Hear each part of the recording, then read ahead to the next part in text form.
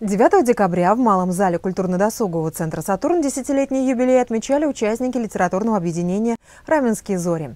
На торжественный вечер пригласили почетных гостей. Также подвели итоги первого районного конкурса имени Ивана Бунина.